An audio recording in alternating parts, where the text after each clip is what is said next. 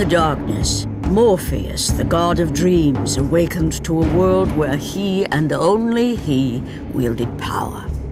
The land was slowly overrun by a black fog that engulfed everything it touched.